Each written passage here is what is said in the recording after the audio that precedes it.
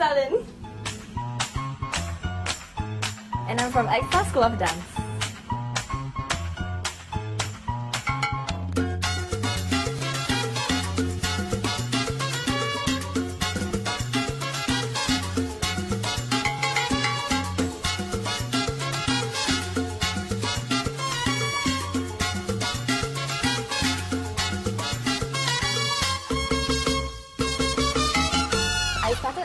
Dance at the end of my first year in university. I was so crazy that I actually danced up to 12 hours or more a day.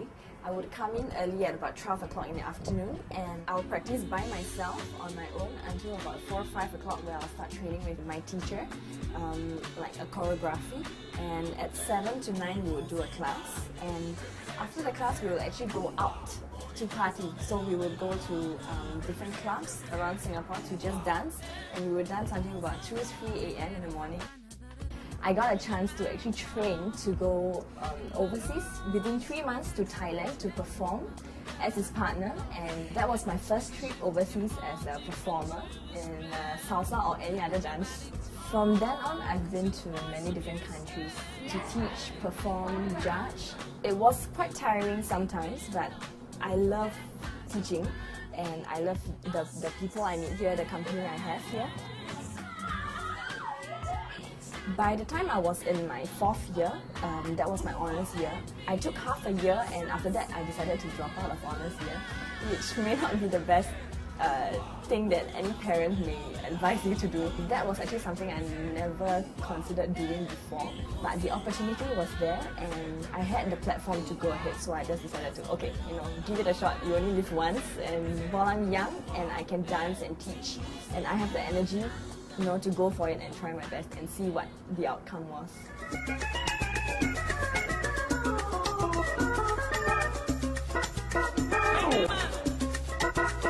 2005, I was awarded the top female salsa dancer in Asia by WorldSalsaNews.com and uh, I was also awarded the NUS Student Achievement Awards for Arts and Culture in my achievements in salsa. Um, finally, I was also uh, the champion for the first Singapore Open Salsa competition that year. Aside from dancing the female part, I am also quite well known for dancing the beat. In salsa, usually the male leads the female. What I did was I actually danced with another lady and we did, I would say, quite a kick-ass show.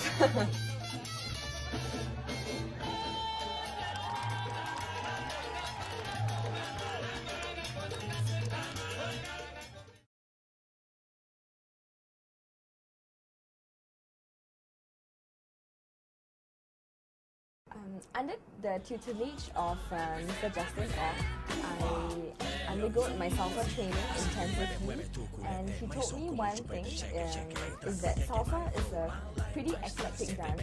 Um, it promotes creativity, so if you want to be a good dancer, you must learn many different kinds of dance styles and integrate them into salsa. He pushed me to learn uh, hip hop, ballet, Tango. Lyrical jazz. belly dance, Afro-Cuban.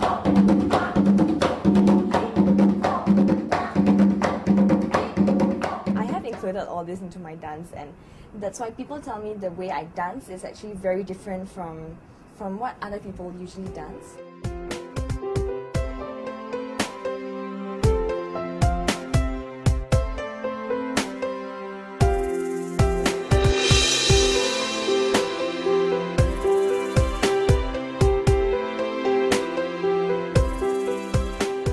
Body movements are different and all that is because of this training actually.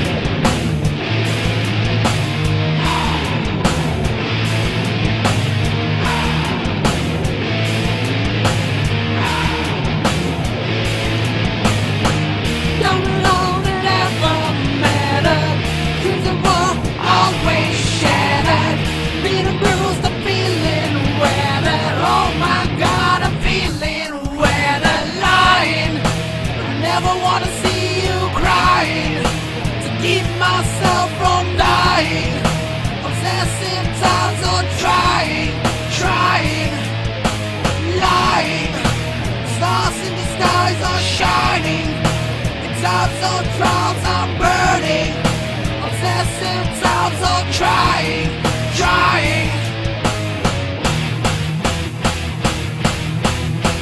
Traveled to like many different countries in Asia. Mostly to attend salsa congresses. I think I uh, went to places like uh, Taiwan, Beijing, Shanghai, Hong Kong, where we got the opportunity to perform and also teach some classes. LA, uh, Germany, uh, London, Paris. Where have you been? Uh, I've been here for only, for only a short while, for less than a year, but uh, I've been able to travel to Malaysia to perform.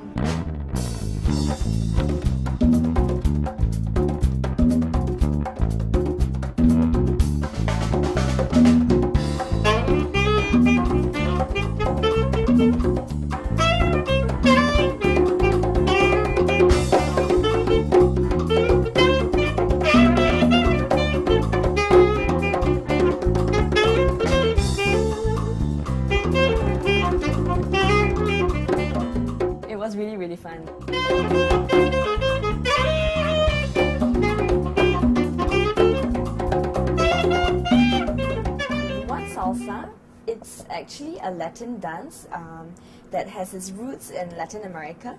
And um, the music is very fast paced, it's um, very big on percussion. There is a lead and a follow, so the guys will lead the girl in the dance. When you dance with a person, you, you don't have to know that person or you may not have seen that person before in your entire life. And we can dance like normally, like how any couple would dance on the dance floor. So that's the beauty of salsa. Salsa is generally divided into two general categories. One is partner work, where the guy leads the girl in turns and stuff like that. And the other segment is what we call shines, where they can break apart and do their own stuff. So it's sort of like a solo version of salsa. Or the guy can stand there, hold her hand while the girl does moves around him. She basically shows off. For those of you who have never heard of salsa before, it's actually very popular in Singapore right now. It's probably the third most popular dance aside from maybe ballet and hip hop. You see people dancing salsa all the way from 5, 6, 7 years old until they're about 70 years old. So that's how diverse um, the age range is in salsa. People get addicted to salsa when they dance. Um, because it's not just about the dance itself, but it's about the people you meet, the friends that you make.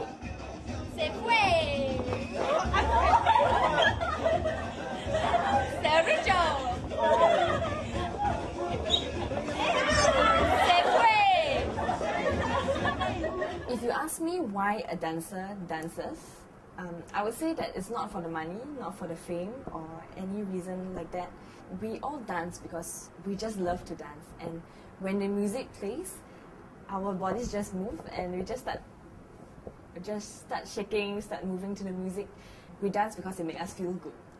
So, if you're out there and you feel the same way I do, then hey, keep on doing it.